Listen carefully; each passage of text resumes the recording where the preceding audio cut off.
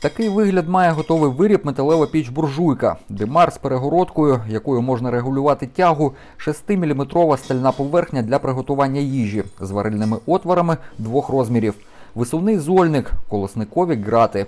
На виготовлення однієї такої пічки йде день, якщо над виробом працює один робітник. Микола розмічує необхідні розміри заготовки на металевому листі. Плазморізом вирізає деталь.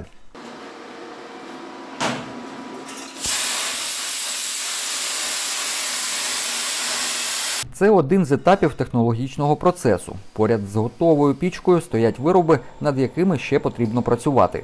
Лист двойка, тройка, шестерка, э, труба, сотка. Вот здесь 25 на 25 труба, это радиатор, чтобы больше теплоотдачи. Самое трудоемкое вырезать плазму плиту и в принципе все остальное нормально. Колега Миколи в сусідньому приміщенні по заздалегідь виставленим розмірам на станку нарізає профільну трубу. Потім всі ці деталі зварюватимуться. Після зачищення зверних швів виріб перевірять та віддадуть замовнику. Водночас на цьому виробництві роблять і меблі, шкільні парти, столи для вихованців дитячих садків тощо. Таких замовлень з початком війни поменшало. А податки та заробітну плату робітникам платити треба, розповідає директорка підприємства Наталя Ніколаєнко. Тому і вирішили працювати над виробами, в яких буде потреба найближчим часом. Наша пічка достатньо потужна, добре тримає тепло е, при тестуванні е, самостійно на нашому виробництві. Одне завантаження дров 3 години. Е, Далі пічка на розстоянні 2 метрів е, ну, припікає ногу.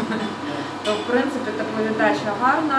Вона може бути в нагоді, в принципі, як і в частному секторі в будинку, так і на полі допомогти хлопцям зігріватись. Е, Я думаю, що цей продукт просто буде дуже востребований, тому ми зараз його виготовляємо з запасом на склад. Є вже замовлення, є вже прорахунки. Це одна з модифікацій. На підході креслення ще трьох моделей з різними характеристиками та цінами. Ця коштує 5 тисяч гривень. Наступні будуть і дешевшими, і дорожчими. Цей екземпляр важить 40 кілограмів. Першу буржуйку зробили місяць тому. На сьогодні продали 10 пічок. Придбали їх цивільні і волонтери для військових. Коли виробництво стане серійним, підприємство братиме участь у тендерних торгах, розповіла Наталя Ніколаєнко. Олександр Гордієнко, Суспільне новини Миколаїв.